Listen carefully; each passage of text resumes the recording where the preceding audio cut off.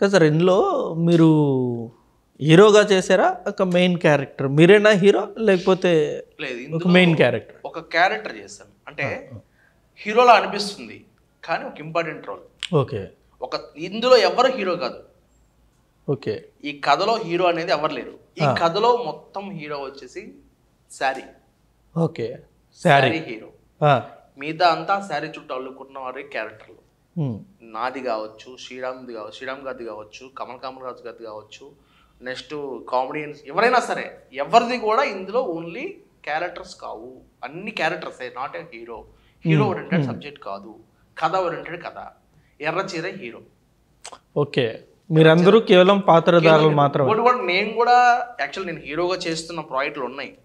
నేను మీరు అంటే మీరు చేయాలని అనుకో- అనుకోని చేశారా? లేకపోతే అన్ఫార్చునేట్గా మీరు ఇన్వాల్వ్ అవ్వాల్సి వచ్చిందా? బేసిక్గా నేను ఒక గతంలో చాలా మంది హీరోల చుట్టూ కథలు పట్టుకొని తిరిగాను.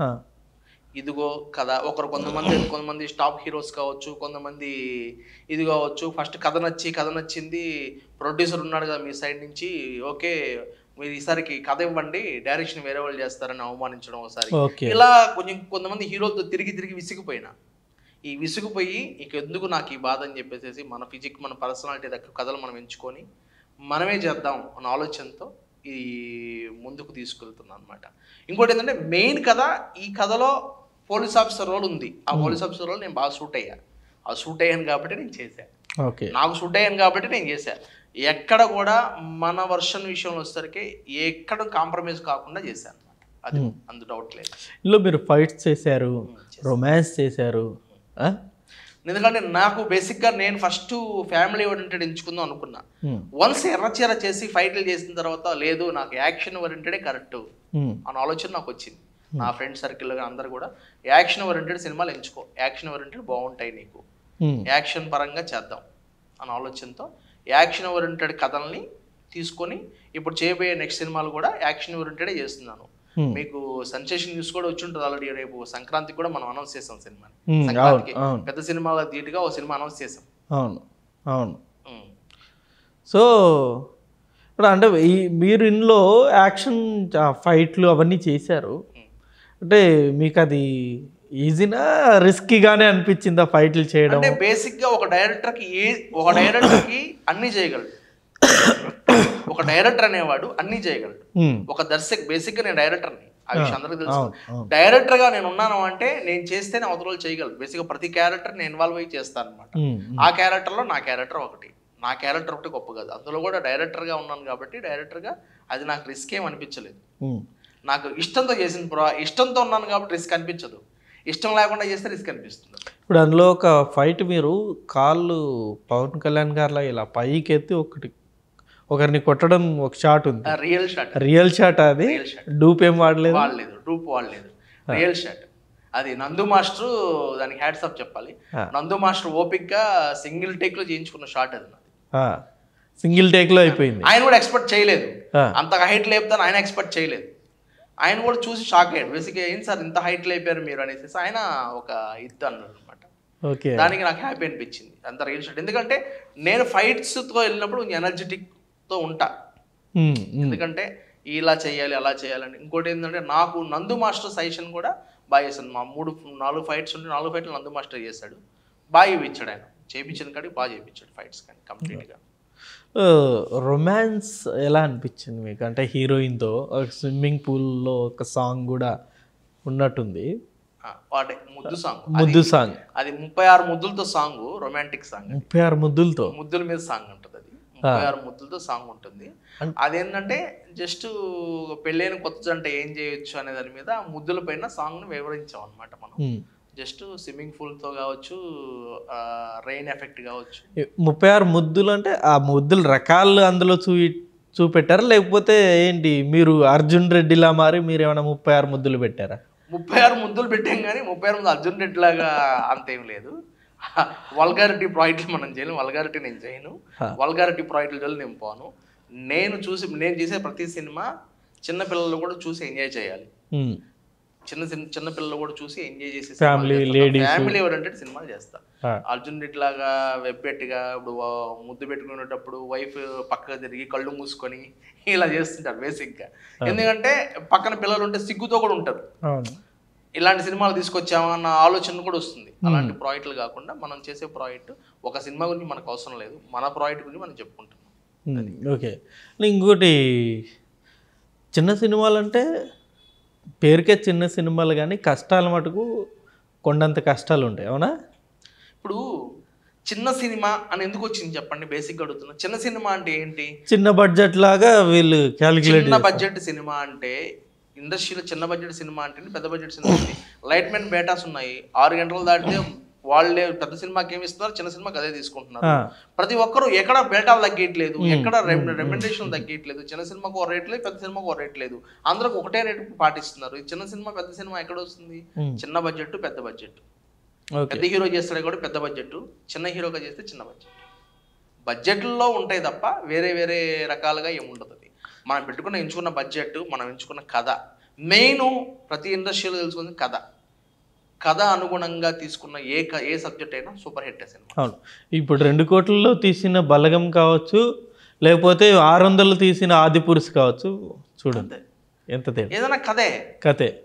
కథ మీదనే ఇప్పుడు బలగంలో అంత బలగం ఉంది కాబట్టి బలగం హిట్ ఇట్టు ఎందుకంటే ఒక ఒక ఫ్యామిలీ రిలేషన్ చూపించారు. ఆ ఫ్యామిలీ యొక్క రిలేషన్షిప్ కావచ్చు కంప్లీట్గా ఉన్న సిచ్యువేషన్స్ కావచ్చు ఒక మంచి ఎమోషన్ క్యారీ అయింది అంటే అందరికీ కనెక్ట్ అయింది. ఓహో ఇది మన ఇంట్లో జరుగుతుంది కదా మన ఇంట్లో జరుగుతుంది కదా అని ఒక కనెక్టివిటీతో ఉందన్నమాట. అది బలగం. ఆ కాబట్టి అలాంటి సినిమాలు ఎప్పటికీ ఆదరిస్తారు. ఇప్పుడు మా ఎర్ర మన ఎర్రచీర విషయానికి వచ్చేసరికి ఎర్రచీరలో ప్రతి ఒక్కటి కూడా ఫ్యామిలీ అంశం ఉంటుంది. ఎక్కడ కూడా ఇంత కూడా బోర్ రాదు. ఎవరైనా చూడదు సినిమా. బోర్ రాదు. బోర్ అనేది సినిమాలో ఎక్కడ కనపడదు. లేదు. కంటెంట్ మీద వెళ్ళిపోయాను నేను.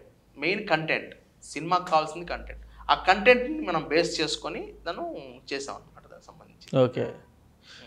సో అంటే మీరు ఆల్మోస్ట్ నైన్టీన్లో మొదలెట్టారు. ఇప్పుడు ట్వంటీ ఫోర్ ఇది చాలాసార్లు డేట్లు కూడా ఇచ్చారు. రిలీజ్ డేట్లు ఇచ్చారు. బట్ ఎందుకో అది అనుకున్న టైంకి రిలీజ్ అవ్వలేదు. ఎందుకు ఇన్నిసార్లు పోస్ట్ పోన్ చేసుకుంటూ? మనము టూ థౌజండ్ నైన్టీన్లో స్టార్ట్ చేసినప్పుడు ప్రాజెక్ట్ చేసినప్పుడు మనం ట్వంటీ ట్వంటీలో రిలీజ్ చేసి ప్లానింగ్ చేసాం. కరెక్ట్గా రిలీజ్ ప్లానింగ్ అయ్యేసరికి నాకు చిన్న డిస్టర్బెన్స్ అయింది. రియల్ ఎస్టేట్ కంపెనీ ఉంది కదా రియల్ ఎస్టేట్ కంపెనీలో చిన్న డిస్టర్బెన్స్ అయింది. డిస్టర్బెన్స్ అయిన తర్వాత మేము ట్వంటీ ట్వంటీ శివరాత్రికి ప్లాన్ చేసిన సబ్జెక్ట్ని కరోనా వచ్చింది. అవును. కరోనాతో టూ ఇయర్స్ కరోనాతో పోయింది. అప్పటికి మాకు సీజీలు అవ్వలేదు. సీజీలు కూడా స్టార్ట్ చేయలేదు అప్పటికి. మేము అనుకున్నప్పటికీ. కరోనా తర్వాత సీజీలు ఆపేసాం సీజీలు ఆపిన తర్వాత మళ్ళీ కరోనా టూ ఇయర్స్ కరోనా జరిగింది. ట్వంటీ ట్వంటీ వన్లో చేద్దాం అనుకునేసరికి మా మిస్సెస్ చనిపోయారు యాక్చువల్గా. ట్వంటీ ట్వంటీ వన్లో మాకు కరోనా టైంలో మా మిస్సెస్ కరోనాలో చనిపోయారు. సరే ఇంక ట్వంటీ ట్వంటీ వన్ అంతా నాకు ఆ డిప్రెషన్లో ఉండి ట్వంటీ వన్ ట్వంటీ టూ వరకు నేను దాన్ని దాన్ని డిస్కస్ చేయలేదు. ట్వంటీ టూలో ఎక్కడ కూడా మనం తండ్రి జోలికి వన్ ఇయర్ పాటు దానికోసం నేను డిస్కస్ చేయలేదు. ట్వంటీ టూ తర్వాత దాని గురించి డిస్కషన్ జరిగింది. ట్వంటీ త్రీలో అనుకున్నాము ట్వంటీ త్రీలో ఎండింగ్ డిసెంబర్లో అనుకున్నాము నవంబర్ తొమ్మిది డేట్ ఇచ్చాను. ఫైనల్ డేట్ నవంబర్ తొమ్మిది ఇచ్చాను. నాకు సీజీలు ఇవ్వలేదు అప్పటికి. సీజీలు నలభై ఐదు నిమిషాలు వచ్చేసరికి నాకు సీజీలు సాటిస్ఫై అవ్వలేదు. ఫస్ట్ సీజీ రెండు సార్లు సీజీలు చేయించాను రెండు సార్లు సాటిస్ఫై అవ్వలేదు. మూడోసారి సాటిస్ఫై అయ్యాను ఇప్పుడు కన్ఫర్మ్ చేస్తాను అనమాట ఇప్పుడు కన్ఫర్మ్ చేసిన తర్వాత ఒకటేసారి తెలుగు తమిళ కన్నడ మలయాళం నాలుగు భాషలు తీసిన సినిమా ఇది. ఎర్రచీర కెంపు చీర శివప్పశాల ఈ సువర్ణ శారీ. నాలుగు నాలుగు నాలుగు ప్రాజెక్టులు నాలుగు చేశాం కాబట్టి ఒకేసారి ఒక మంచి డేట్ చూసుకొని అనౌన్స్ చేద్దాము అనే ఆలోచనతో జనరల్గా మార్చి ఎనిమిది రావాలి. మార్చి ఎనిమిదో తారీఖు మనకు కుదరట్లేదు. ఎందుకంటే అన్ని చోట్ల సెన్సార్లు అవ్వలేదు. అన్ని చోట్ల అవును. డబ్బింగ్ పాటలు నడుస్తున్నాయి. మూడేది ఫస్ట్ తెలుగు రిలీజ్ చేద్దాం అనుకుంటే మన అవతల పక్క వాళ్ళు వద్దు సార్ అలా. మీరు ఒకటేసారి రిలీజ్ చేయండి. ఇది పాన్ ఇండియా సినిమా కాబట్టి మీరు పాన్ ఇండియా రిలీజ్ చేయండి అని చెప్పంటే సరే అని చెప్పి ఒక మంచి డేట్ చూసుకొని అనేది ప్లాన్ చేసి త్వరలో అందరి ముందు మీడియా ముందు అనౌన్స్ చేస్తాను మా డేట్ అనేది. ఈసారి డేటు పక్కాగా ఉంటుంది పకడ్బందీగా ఉంటుంది. ఈసారి సెన్సార్లు వచ్చిన తర్వాత డేట్ అనౌన్స్ చేస్తాం. సెన్సార్లు అన్నీ అయిపోయినాయి. ఇంక సెన్సార్ కాపీ కూడా అప్డేట్ చేస్తాము. హండ్రెడ్ ఇక ఫస్ట్ కాపీ అన్ని భాషల్లో రెడీ అయిపోయింది అన్నప్పుడు డేట్ ఇస్తాం. డేట్ ఇస్తాము. ఈసారి డేట్ ఇచ్చే డేట్ పక్కా డేట్ ఉంటుంది. ఆ డేట్ హండ్రెడ్ పర్సెంట్ ఈసారి రిలీజ్ చేసేస్తాము. ప్రమోషన్లో ఎక్కడ వెనకాడం Hmm. ప్రమోషన్లో కూడా వెనకాడము. ప్రమోషన్లు గట్టిగా చేసి సినిమా రిలీజ్ చేస్తాం. ప్రతి ఒక్కడు థియేటర్కి వచ్చేలా చేస్తాం. ఆ ప్రమోషన్ కూడా కొత్త రకమైన ప్రమోషన్స్ కూడా చేస్తాం సినిమాకి. ఎక్కడ కూడా మన ఎర్ర చీర అంటే నేను అంటే నాకు నా సినిమా గొప్ప కావచ్చు. బట్ నేను ఒక బ్లాక్ బాస్టర్ అనేది ఇవ్వబోతున్నాను. అది నేను ఓవర్ కాన్ఫిడెన్స్ చెప్పట్లేదు కాన్ఫిడెన్స్తో చెప్తున్నాను. సో ప్రమోషన్ వైజ్ అంటే మీరు నాతోనే మొదలెట్టారు కాబట్టి మీకు ఖచ్చితంగా పెద్ద సక్సెస్ అవుతారు. Thank you thank you so much. ఇంక అంటే ఈ అదే నేను అంటుంది ఈ రిలీజింగ్ ఓకే ఈ షూట్లప్పుడు లేకపోతే ఇవన్నీ ప్రాబ్లమ్స్ ఫేస్ చేయలేదా మీరు? ఇప్పుడు షూటింగ్ అప్పుడు నేనేం ప్రాబ్లం ఫేస్ చేయలేదండి. ఎందుకంటే అందరూ కోఆపరేట్ ఆర్టిస్ట్లే నాకున్న సీనియర్ ఆర్టిస్ట్లే వాళ్ళ వల్ల అప్పుడు నాకు మాకు మదర్ క్యారెక్టర్ అన్నపూర్ణమ్మ గారు చేశారు. ఆమె చక్కగా నాకు నిజంగా మా అమ్మలానే ఉంది. నెక్స్ట్ సిస్టర్ క్యారెక్టర్ సత్యకృష్ణ గారు చేశారు. ఆవిడ క్యారెక్టర్ని అలా చేశారు. మన సురేష్ కొండెట్ కూడా ఒక క్యారెక్టర్ చేశారు. సురేష్ కొండెట్ గారు కూడా ఒక క్యారెక్టర్ చేశారు. ఎవరి క్యారెక్టర్కి వాళ్ళు న్యాయం చేసుకుంటూ వెళ్ళిపోయారు. ఇప్పుడు శ్రీరామ్ గారు ఉన్నారు. శ్రీరామ్ గారు చేసిన వరకు ఆయన ఒక ఫైట్ కానీ సినిమాలో ఆయన చేసిన విధానం కానీ ఆయన వర్క్ కానీ సింపుల్గా సింపుల్గా వెళ్ళిపోయాం. ఎందుకంటే ఒక ఫ్యామిలీ మెంబర్స్ లాగా ఒక పిక్నిక్ చేసినట్టు షూటింగ్ చేశాను తప్ప షూటింగ్ మీద కష్టపడిపోయి హడావిడి చేసింది. అందుకే ప్రతి ఒక్క టెక్నీషియన్ కష్టపడ్డాడు మూవీలో అది కూడా చెప్తున్నా.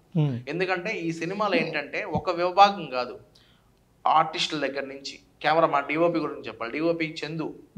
యాక్చువల్గా మంచి డిఓపి అంటే నేను ఫస్ట్ మన సినిమానే చేశాడు. ఫస్ట్ సినిమా మనదే.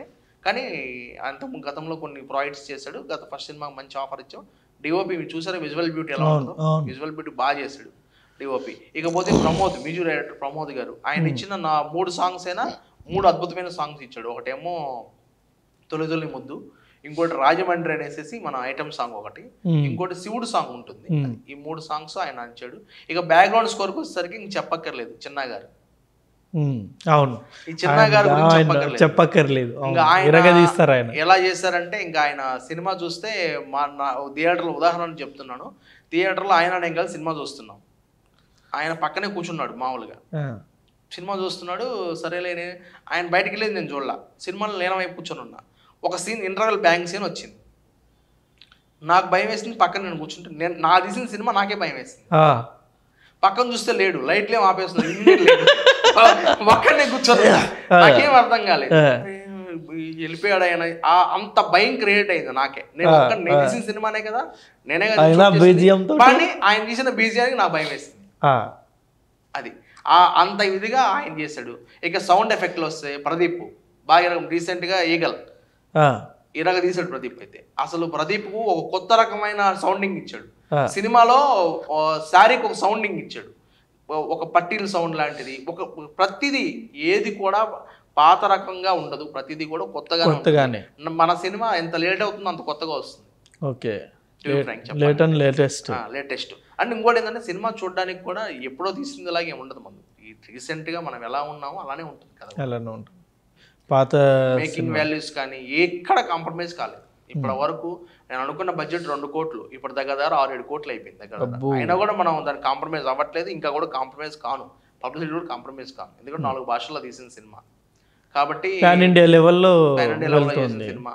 ఎర్రచీర చాలా మంది ఈ టైటిల్ చూసి ఈ టైటిల్ కొన్ని చోట్ల బీసీల టైటిల్ బేసిక్గా బీ క్లాస్ ఈ క్లాస్లో బాగా నడిచే టైటిల్ మల్టీప్లెక్స్ థియేటర్లు కానీ కంప్లీట్ కొంతమంది కొంతమంది హీరోలు కూడా ఈ టైటిల్ మారిస్తే బాగుండేమో అన్నారు. లేదు సార్.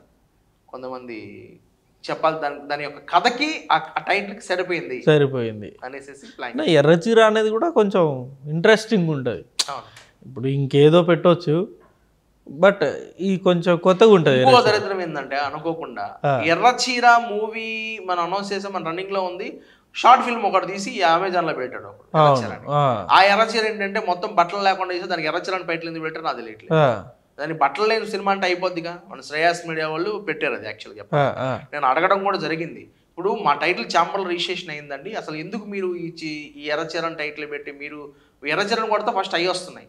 చీరల బట్టలు లేకుండా వస్తుంది దానికి ఎర్రచీర అని టైటిల్ ఎందుకు? బట్టలు లేని సినిమా అంటే అయిపోయేది బేసిక్గా మా టైటిల్ ఖరాబ్ చేశారు అక్కడ. వాళ్ళు ఒక పక్క పెద్ద హెడ్ అడిగితే ఏమన్నారు మీకు? మా హీరోయిన్ ఫోన్ చేసి చాలా మంది ఇదే ఇలాంటి సినిమాలు యాక్ట్ చేసామని చెప్పారు అడిగారంట చాలా అది వేరు ఇది వేరు. ఆ అమ్మాయి పాపం ప్రతి చోట ఎక్స్ప్లెనేషన్ ఇచ్చుకుంటుంది. "ప్లీజ్ సార్ అది వేరండి ఇది వేరండి మాది పెద్ద బడ్జెట్ సినిమా మాది వేరు మాది సెంటిమెంట్ సినిమా. అలాంటి సినిమాలు మేము ఎందుకు ఇంకా రిలీజ్ అవ్వలేదు థియేటర్ రాలేదు. దాని రిలీజే కాలేదు ఇంతవరకు. అని చెప్పేసి ఆ అమ్మాయి కొన్ని చోట్ల ఎక్స్ప్లెనేషన్ ఇవ్వడం జరిగింది. ఇప్పుడు మీకు డైరెక్టర్గా ప్రొడ్యూసర్గా హీరోగా చేశారు. అంటే మూడింటిని ఎలా బ్యాలెన్స్ చేశారు? మీకు హెడ్ఏక్ అవ్వలేదా? ఒకదానికి బ్యాలెన్స్ చేయడమే రిస్క్ ఇటు యాక్టింగ్ చూసుకోవాలి. ప్రొడ్యూసర్ అనేది నేను పక్కన పెడితే ఎందుకంటే ప్రొడ్యూసర్ అనేది నేను పెద్ద పట్టించుకోలేదు ఎందుకంటే నువ్వు డబ్బులు ఉన్నాయి పెట్టాం ఇన్వెస్ట్మెంట్ చేసాం పెట్టాం ప్రొడ్యూసర్ అనేది ఒక బ్యాలెన్స్ వర్క్ ఓకే నేను కాదని లేదు డైరెక్టర్ అనేది నాకు ఇంట్రెస్టెడ్ నాకు ఇష్టం. డైరెక్టర్ అని నాకు పెద్ద ఆర్టిస్ట్ అనేది కొత్తగా వచ్చాం. ఆర్ట్ ఎందుకంటే మనం పది మందికి యాక్టింగ్ చెప్పేవాళ్ళం డైరెక్టర్ అనేవాడు. మనలో మనం చేయడం అది పెద్ద నాకు కొత్త అని బాగా కష్టం అనిపించలేదు. హ్యాపీగా చేసుకుంటూ వెళ్ళాం. హ్యాపీగా చేసుకుంటే వెళ్ళిపోయారు ఓకే. ఇప్పుడు ప్రజెంట్ ఈ కాంపిటీషన్ అనేది సినిమా ఇండస్ట్రీలో చాలా ఎక్కువైపోయింది. మొన్న సంక్రాంతికి చూసాం. అసలు థియేటర్ లేక చాలా సినిమాలు ఈగలైతే పోస్ట్ పోన్ అయిపోయింది. చాలా అప్పటికి చాలా ఇష్యూలు వచ్చాయి కూడా. గుంటూరు కారము హనుమాను సైందో వచ్చింది నా సామిరంగా వచ్చింది. ఇవన్నీ ఇట్లా అందుకనే కదా నేనేం చేశాను దానికి ముందే మొన్న సంక్రాంతికి డేట్ కొట్టాను ఓచిపోత సినిమాకి. ఇప్పుడు మీరు సంక్రాంతి కంటే ఆల్మోస్ట్ ఇప్పుడు కూడా కొన్ని చిరంజీవి గారిది కన్ఫర్మ్ అయింది. ఇంకా చాలా మంది చిరంజీవి గారిది బాలయ్య బాబు గారిది నాగార్జున గారు కూడా మొన్న అనౌన్స్ చేశారు నెక్స్ట్ సంక్రాంతికి వస్తున్నా అని చెప్పేసి. దిల్ రాజు గారు కూడా ఈ వెంకటేష్ గారితో అనిల్ రావుపూడి కాంబినేషన్లో అది కూడా అనౌన్స్ చేసినట్టున్నారు. ఈ నలుగురు సీనియర్ హీరో హీరోలు రాబోతున్నారు సంక్రాంతికి. అందులో మీరు మళ్ళీ పోటీ అంటే? అది పోటీ కింద నేను భావించట్లేదు. నలుగురిలో ఒకరు. నలుగురిలో మనది ఒక సినిమా. మాది సంక్రాంతి ఎందుకంటే ఊచకొత్త సినిమా సంక్రాంతికే రావాలి. ఎందుకంటే భోగి సంక్రాంతి కనుమని బేస్ చేసుకున్న కథ. ఖచ్చితంగా సంక్రాంతికే రావాలి. ఓకే. అందుకే నేను లాస్ట్ సంక్రాంతికి అనౌన్స్ చేశాను. మొన్న సంక్రాంతికి ట్వంటీ ట్వంటీ ఫోర్ సంక్రాంతికి ఏం అనౌన్స్ చేసామంటే twenty twenty five Sankranti date కూడా కొట్టాం. పదకొండు ఒకటి ట్వంటీ ట్వంటీ ఫైవ్ డేట్ కొట్టాం. పదకొండో తారీఖు డేట్ కొట్టాం. పదో తారీఖు చిరంజీవి గారిది వస్తుంది. పదకొండు మనది వస్తుంది. పదకొండు మీది. పదకొండు వస్తుంది మంది. పదకొండో తారీఖు మన డేట్ మీద మనం చేద్దామని ఆలోచనతో ఉన్నాం. పదకొండు ఎట్టి పరిస్థితుల్లో సంక్రాంతికి అయితే ఆగేది లేదు. ఓచుకోత చేయడమే. ఇంకోటి ఐఏ ఐఏఎస్ ఐపీఎస్ కథ మీద కూడా ఒకటి తీస్తున్నారు ఉమ్. అవును గిద్దలూరు పోలీస్ స్టేషన్. అదేంటి అది సబ్జెక్ట్? నాకు తెలిసి అది అది కొంచెం రియాలిటీకి దగ్గరగా ఉంటుందని కూడా విన్నాను. కొన్ని ఎక్కడో జరిగిన సంఘటనలు ఇన్స్పైర్ అయి తీస్తున్నారు ఆ సినిమా అని కూడా విన్నాను. నిజమేనా అది? ఎవరిని టార్గెట్ చేస్తూ తీస్తున్నారు ఇది? ఒక పొలిటీషియన్ దగ్గరికి ఒక పోలీసు వాళ్ళు వెళ్ళి సల్యూట్ చేయడం అనేది జరుగుతుంది బేసిక్గా టు బి ఫ్రాంక్ పొలిటీషియన్కి పోలీసులకి మధ్య జరిగే వారే గిద్దలూరు పోలీస్ స్టేషన్ న్యాయానికి అన్యాయానికి జరిగే సంభాషణ Giddaluru police station okay.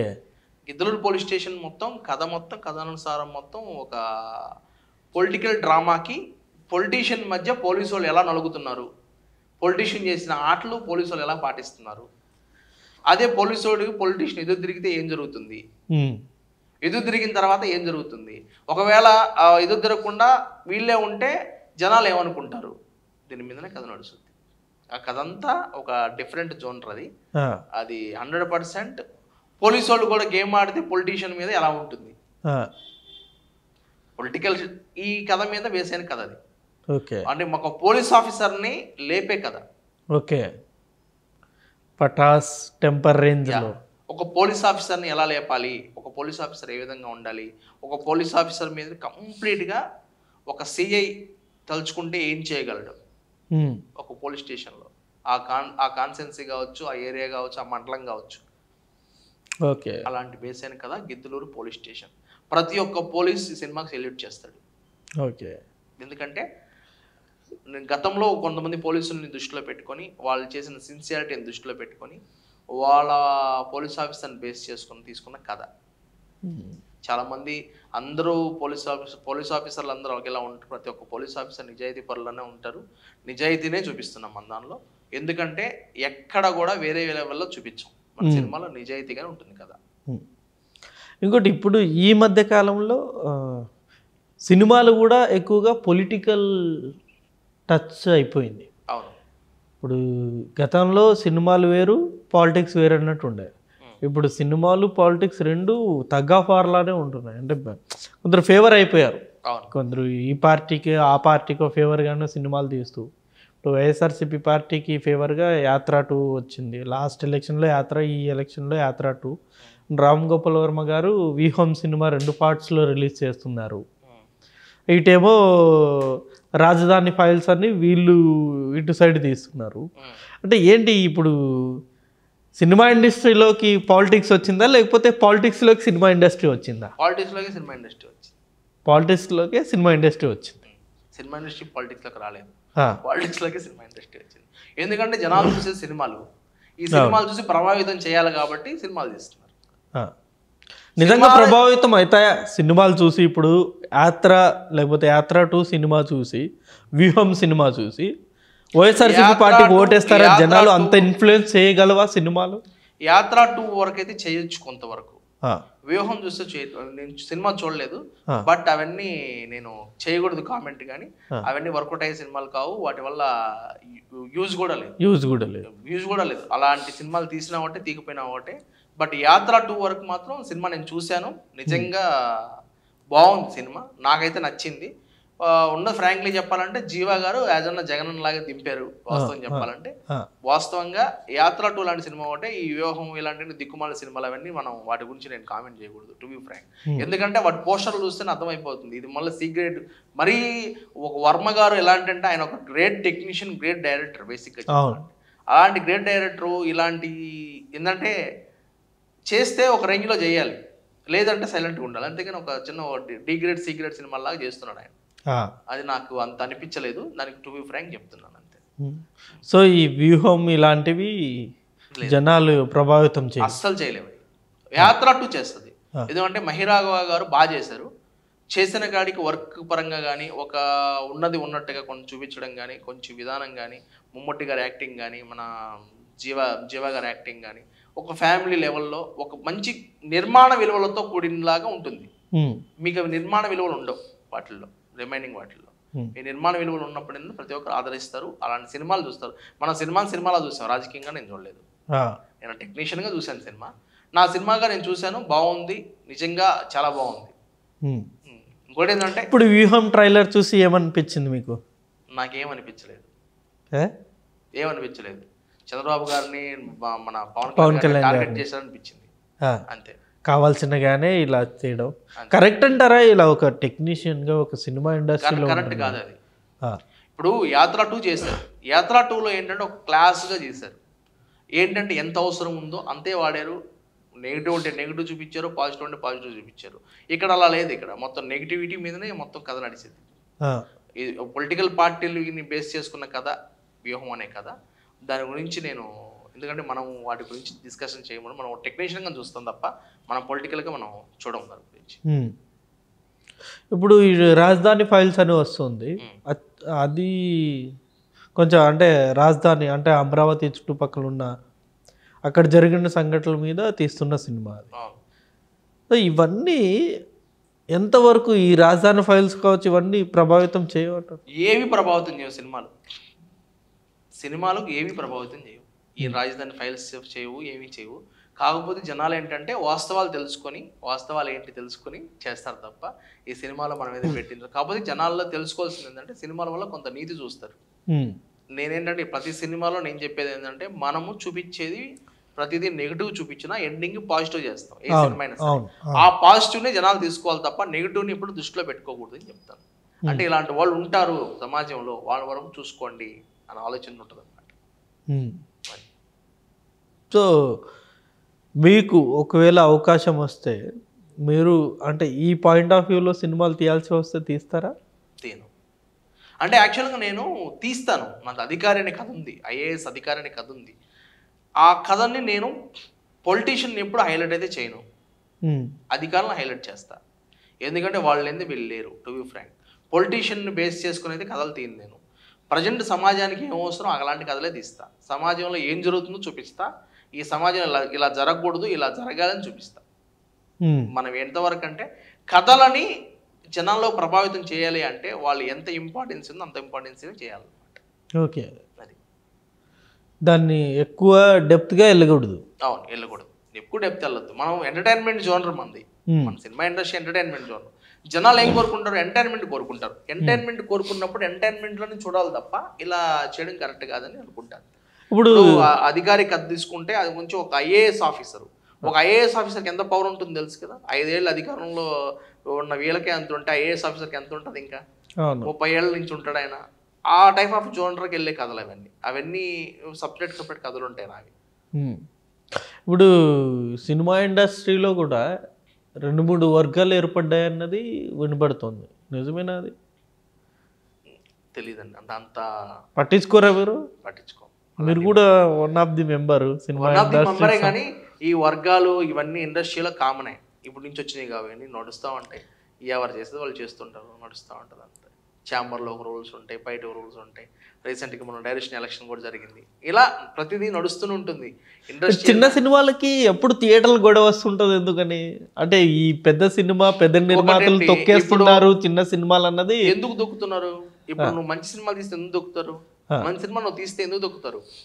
ఇప్పుడు ఒక డిస్ట్రిబ్యూటర్ దగ్గర మనం వెళ్తున్నాం. డిస్ట్రిబ్యూటర్ దగ్గర మనం వెళ్ళినప్పుడు నువ్వేం చేస్తున్నావు? డిస్ట్రిబ్యూటర్ కన్నా ముందే క్యూబులు నేనే కట్టుకుంటా పబ్లిసిటీ నేనే పెట్టుకుంటా థియేటర్లు ఇవ్వండి చాలు అంటాడు. థియేటర్లో జనాలు ఎందుకు రావాలి? ఎందుకు వస్తాడు నీ సినిమాకి? నువ్వు ప్రమోషన్ చేయాలి. నీ సినిమాల విషయం ఏంటో తెలియాలి. నీ జనాలు ప్రమోషన్ ప్రమోషన్ చేయకుండా సినిమాలు చూడు అంటే ఎందుకు చూస్తారు జనం? నీలో విషయం ఉంటే జనాలు చూస్తారు. థియేటర్లో చూసారా మీరు? చిన్న సినిమాలు థియేటర్లో ఇస్తున్నారండి. థియేటర్కి ఒక రోజు ఎంత ఫీడింగ్ కావాలి తెలుసా? ఒక థియేటర్కి ఉదయం సైకిల్ స్టాండ్ వాడి కానీ మొదలు పెట్టుకుంటే క్యాంటీన్ దగ్గరికి మొత్తం అందరూ బతకాలి. ఓ థియేటర్ చేస్తే.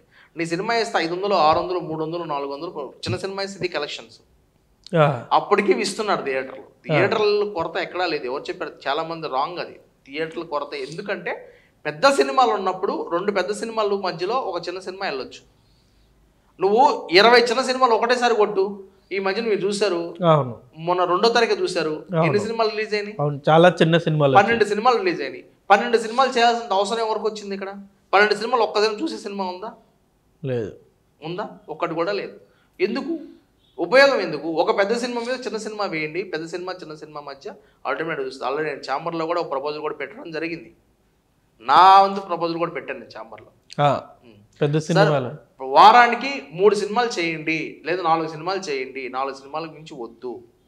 ఆ ఛాంబర్లో పెట్టండి అని చెప్పి మన తుమ్మల ప్రసన్న కుమార్ గారికి ఆల్రెడీ నేను ఆల్రెడీ చెప్పడం జరిగింది.